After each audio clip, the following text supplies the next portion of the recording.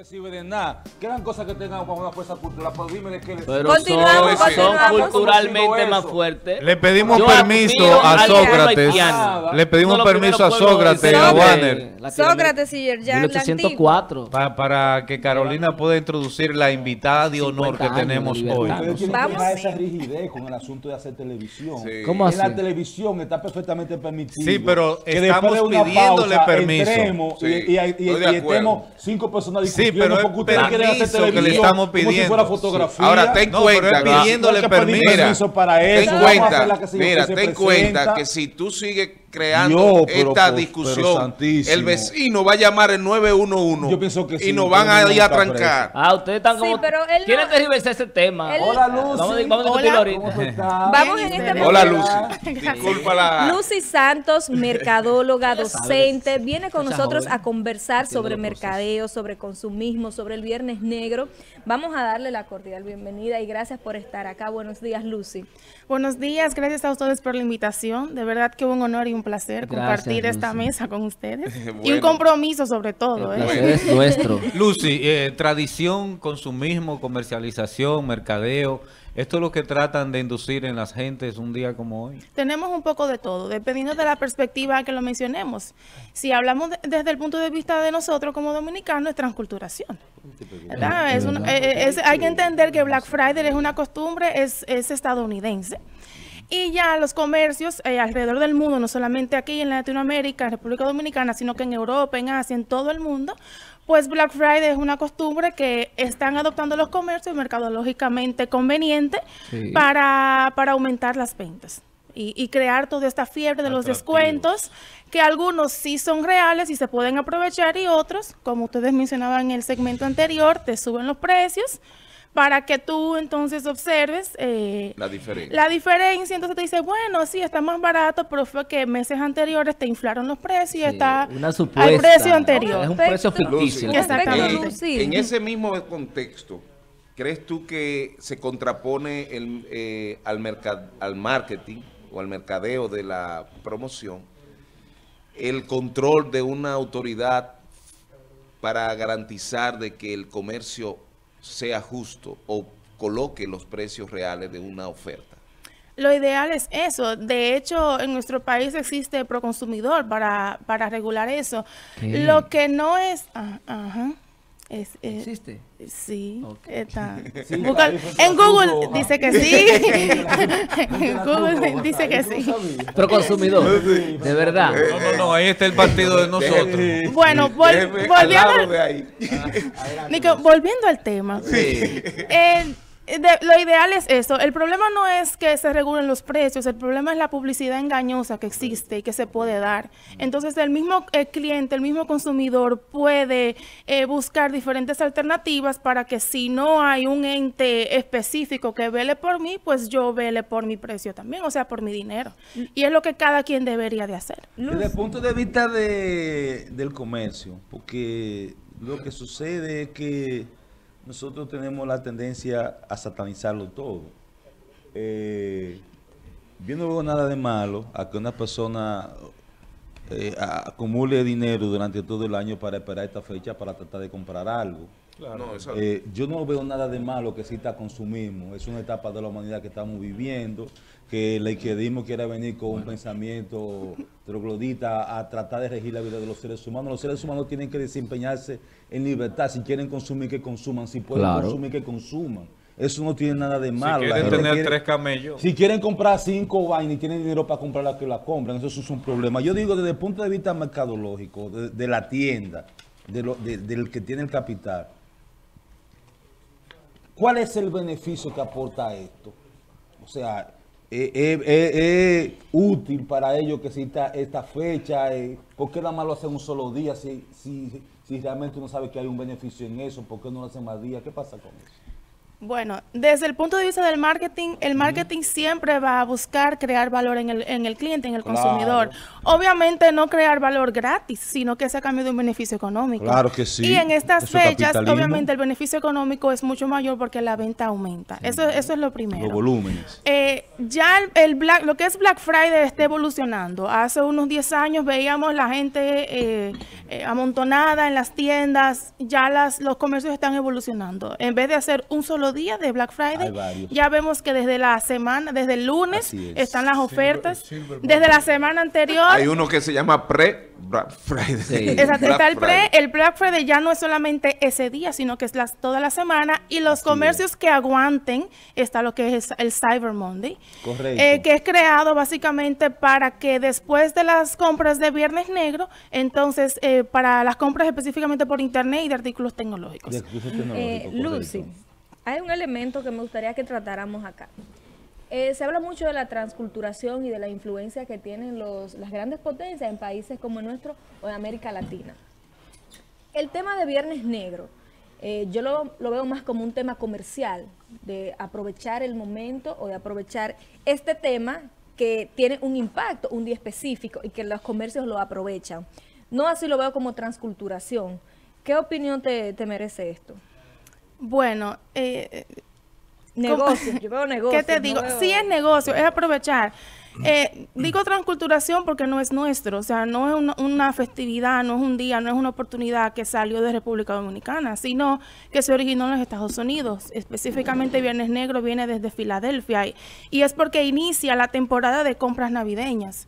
Nosotros en República Dominicana eh, últimamente sí hacemos compras navideñas, pero no... La cultura de eh, es- no ha es nuestra cultura como tal. Pero, Entonces... Lucy, se ha mundializado como, como, Sí. como, eh, como momento para la compra. O sea, el Viernes Negro ya no es solamente norteamericano, sino la- el Internet ha hecho que todo el mundo asuma eh, eh, ese, ese estilo de, de comercio, ¿no? Sí, Se, se ha mundializado, digamos. precisamente esto es una de las de las eh, influencias de la globalización. Exactamente, Eh, no exactamente. solamente, y, y dije al inicio, no solamente eh, nació en Estados Unidos, pero ya se ha adoptado en Europa, en Asia y por supuesto en Latinoamérica. Y desde el punto de vista del marketing, es la oportunidad para cambiar como, como parte de sus orígenes las empresas que tenían ventas bajas, que estaban en, estaban en números rojos, cambiaron hacia números negros y por eso también viene el término de Black Friday, por aumentar las ventas. Lucy, ¿Tú- tú le No es que sea malo, no es que sea malo, es bueno. Claro, Yo misma, bueno. eh, a nivel personal, en mi Claro, familia, hemos bueno. aprovechado Claro, las ofertas de. Viernes Negro. Yo tengo meses. varias tiendas online que yo tengo el carrito ahí, eh, eh, eh, varias, ah, varios de- artículos, observando para monitorear los precios. Lo que sí es que que comprar, todo el, consumidor, el cliente, corta exacto, que nos, que nos está observando a te través de la televisión, eh, eh, no, no debemos de comprar por impulso y es, y es lo malo. Sí. Que o nos, meterse en un problema de préstamo para poder comprar, porque quiero comprar. Es- Eh, ahí sí. ahí si usted se planifica, no está mal. Mm. Si usted se planifica, no está mal. El problema es que a veces... Sí, porque si tú te planificas que vas a tomar un dinero prestado, porque tú vas, porque tú necesitas comprarte, qué sé yo, una nevera y tú prefieres pagar a plazos por tu, por tu situación económica, pues está bien, pero no que tú lo haces por impulso. Y por si se daña también. De- Déjenme Exacto. hacerle una publicidad gratuita a Amazon.com. Señores, cómprense un Alexa que están a 20 dólares. Eso es una chulería. Tú llegas a tu casa y decirle, Alexa, ponme música. Uh, por arte de magia. ¿De verdad? Ay, Sí, cu- eh, con relación a eso, a propósito, a propósito, Hoy- Amado, de que tú hoy está 20 mencionas, A dólares. 20 dólares. Un borracho amigo mío Un borracho. le dijo a Alexa, búscame una mujer. Miren, a propósito de que Amado menciona ahora a, a Amazon y esas tiendas de, de- de compra y venta online, eh, realmente en Estados Unidos sí se ponen estos precios reales que tú lo puedes palpar, pero normalmente en la, en la República Dominicana, por esa cultura del tigraje que hay aquí en este país, normalmente lo que hacen que engañan, en, en un gran porcentaje engañan a la gente.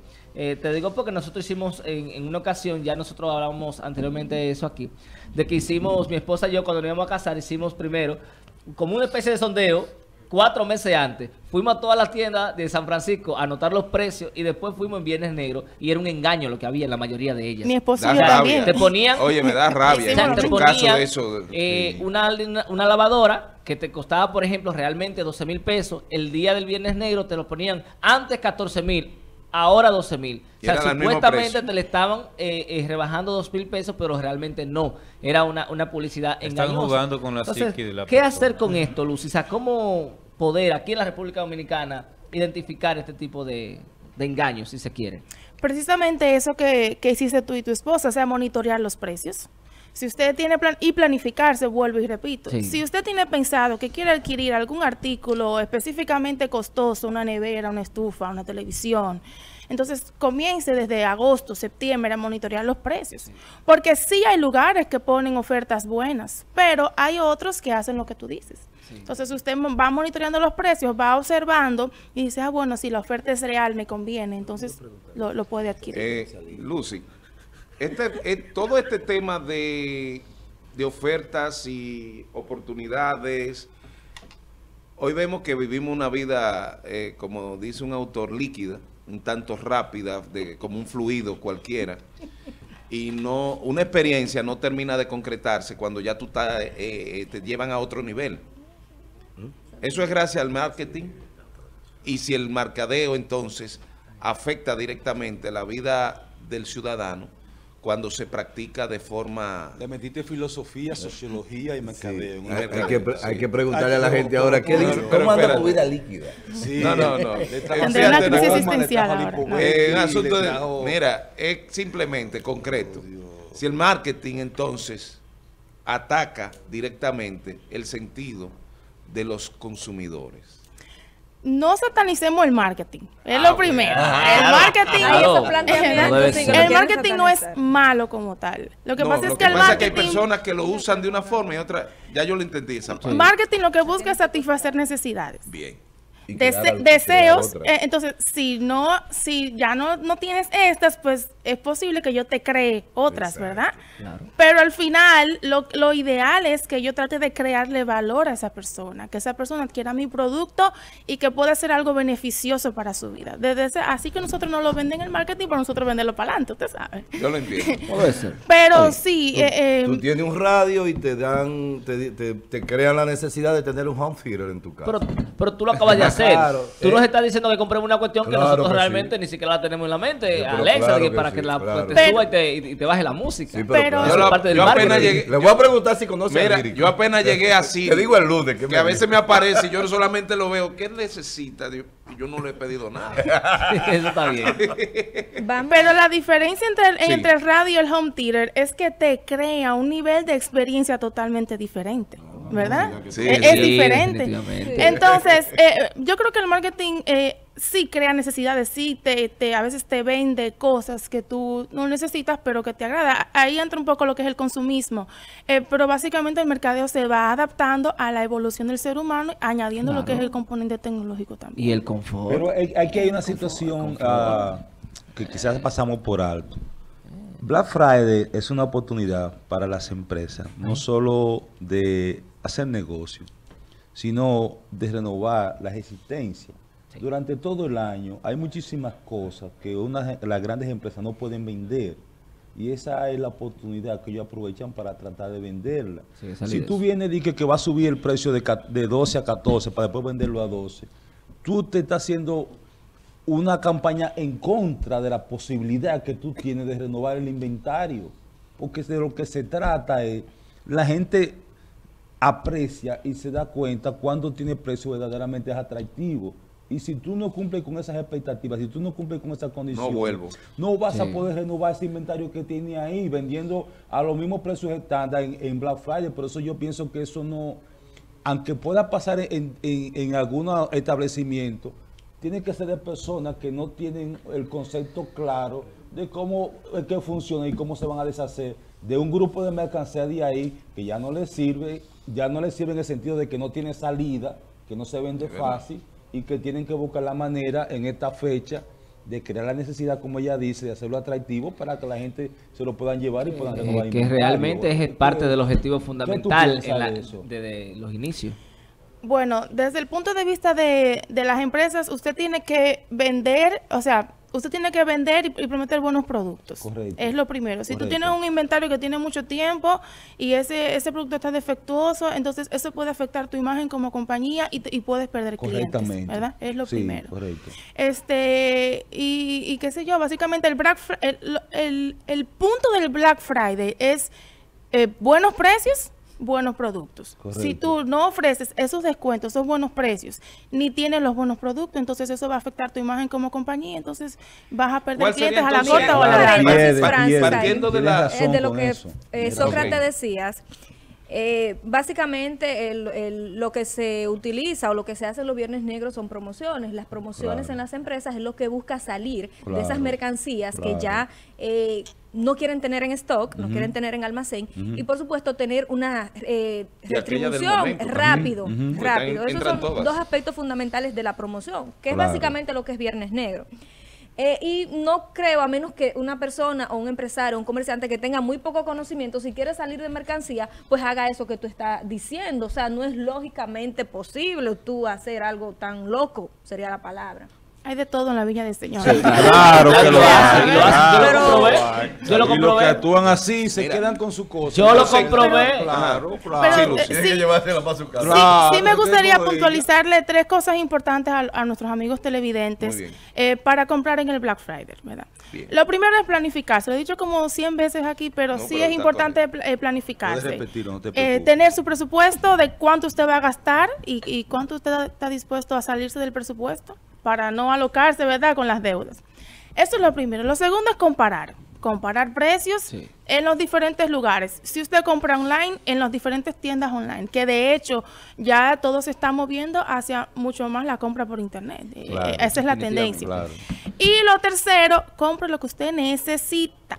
No compre, ¿verdad? Uno siempre tiende a comprar, especialmente nosotros las chicas, ¿verdad? Eso es parte de nuestra naturaleza. Pero trate de, de enfocarse en comprar lo que usted necesita, porque así se evita el, ah, ya lo tengo, lo compré, y después el dolor de cabeza. Entonces, prográmese, compare y compre solo lo que usted necesita las- para aprovechar verdaderamente estas ofertas. Una de las de las eh, co- cosas importantes que vi para el asunto del Black Friday, que se daba como consejo a, los a los posibles consumidores, es que tomen en consideración la política de devolución de la tienda donde se va a comprar. Así. Muchas veces vamos y compramos, tenemos el precio. Aquí entran muchísimas cosas que son refurbished, o sea que ya pasaron por mano Sí, sí. correctamente. Entonces, y cosas que pueden ser nuevas, pero es que si tú no tienes una política de descuento, entonces cuando viene a ver te lleva para tu casa un problema. Entonces, esas son cosas que hay que tomar en consideración a la hora de, de entrar en esto de la compradera. Tips de Sócrates. Sí, presenta. eso está muy bien. Claro. Sí, eh, Bueno, entonces la eh, finalmente, el día de, de hoy Ahí viene el negro. Es Viernes Negro. Y ese día, usted como mercadóloga al comercio, ¿qué mensaje le envía para preservar también que el cliente regrese? muy bien. Bueno, esta es una oportunidad excelente para usted obtener nuevos clientes, también vender la mercancía que usted tiene y por supuesto eh, eh, dar, darle seguimiento a esas personas. No solamente que te compren una vez, sino brindarle toda una experiencia, además de unos precios excelentes, eh, para usted obtener verdadera rentabilidad y buenas relaciones con sus clientes. Entonces, ¿qué le digo? Planifiquen también los comercios, oferten buenos precios y por supuesto traten bien al cliente porque así es la única forma que van a asegurar que ellos regresen a sus establecimientos. Lucy, Y Señores. ojalá, Tú eres muy telegénica, mira Sí. qué hermosa. Ojalá. Señores, enfócame a Lucy, enfócame a. Lucy. Santos, Enfoca- mira, mira, mira, Lucy. Sí. ha estado con nosotros hablándonos del viernes. ojalá que los empresarios también Sí. Como eh, tradición, como tradición Sí. de consumismo fue el tema que desarrolló. Lucy Santos. Amado, un aporte. Ojalá que los empresarios de ahora en adelante, también en la República nuevo. comiencen a pagar por lo menos un día antes del Viernes Negro Sí, para que la gente también pueda tuvieron aprovechar que comprar. lo- ¿A qué los precios a pagar. Por ejemplo, eh, hoy estamos a 29, No, mañana estamos a pagaron. 30. Las ¿A empresas pueden pagar pagaron? dos días antes para que la Sí, gente no, pueda aprovechar y así, y así sí. se agiliza el comercio, Sí, que eso vuelve. pues ya tú sabes. Sí, No, es pero que- atención. Vamos a, No te vamos a metas dejarlo en el aire. Atención. Muchachos, allá arriba. Hablen con la gente. Señor. Lo Bueno, han hecho. Gracias, Lucy. Oye, ahí dice, dice, dice Lucy que hay algunas empresas que lo han hecho. así que es importante también, sí. Que las empresas también entiendan esa parte Claro. que entren en ese juego del comercio para que la gente... Gracias No, Lucy por estar con nosotros, agradecidísimos de tus comentarios y, e informaciones y orientaciones. Sí. Vamos a... Muchas gracias. Nosotros nos vamos, señores, a ver el- lo que dice WhatsApp. el WhatsApp. A ver qué dicen nuestros amables televidentes. 嗯。